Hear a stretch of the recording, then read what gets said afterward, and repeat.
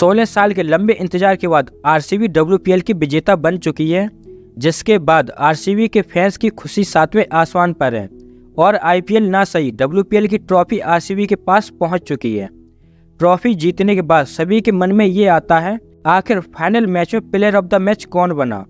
या टूर्नामेंट में सबसे ज़्यादा रन किसने बनाई सबसे ज़्यादा विकेट लेने वाला गेंदबाज कौन है? कौन रहा सिक्सर क्वीन तो आप बिल्कुल सही वीडियो पर आ चुके हैं। तो आज की वीडियो में डब्ल्यू पी एल के सभी अवार्ड्स की बात करेंगे।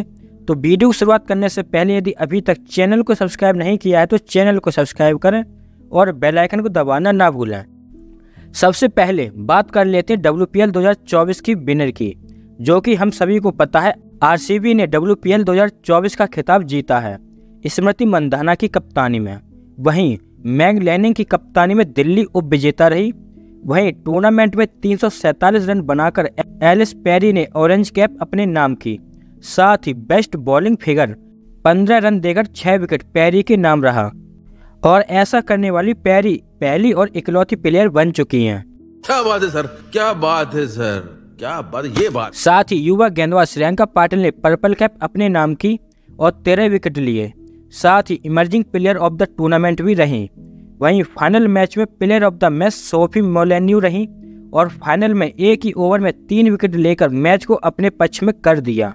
दीप्ति शर्मा ने गेंद और बल्ले दोनों से कमाल किया और इसका इनाम उन्हें मिला प्लेयर ऑफ़ द सीरीज़ के रूप में। साथ ही डब्ल्यू पी एल की मोस्ट वैल्यूबल प्लेयर भी रही। टूर्नामेंट में सबसे ज़्यादा छक्के सैफाली वर्मा ने जड़े और डब्ल्यूपीएल की सिक्सर क्वीन रही बीस छक्कों के साथ। वहीं चौकों के मामले में मैग लैनिंग ने बाजी मारी और टोटल सैतालीस चौके मारे। आरसीबी ने सिर्फ़ ट्रॉफी ही नहीं जीती, बल्कि दिल भी जीते।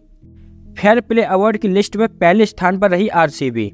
मैग लैनिंग ने सबसे ज़्यादा चौके ही निमारे, साथ ही सबसे ज़्यादा अर्धशतक भी बनाई। चार। वहीं डब्ल्यू में एक भी शतक देखने को नहीं मिला, लेकिन उच्चतम स्कोर पचानवे नाबाद हरमनप्रीत कौर के नाम रहा।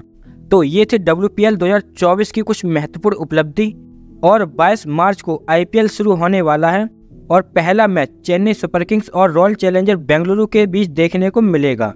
आईपीएल के प्रत्येक मैच का हाल जानने के लिए चैनल को सब्सक्राइब करें और नोटिफिकेशन के लिए बेल आइकन को दबाना ना भूलें। और 22 मार्च को होने वाले आरसीबी और चेन्नई के मैच में कौन जीतेगा बताना ना भूलें। जानकारी अच्छी लगी तो वीडियो को लाइक करें, अपने दोस्तों में शेयर करें। और आईपीएल से जुड़े वीडियो देखने के लिए चैनल को सब्सक्राइब करें। नोटिफिकेशन के लिए बेल आइकन को दबाना ना भूलें। वीडियो देखने के लिए बहुत बहुत धन्यवाद। मिलते हैं अगले वीडियो में। जय हिंद।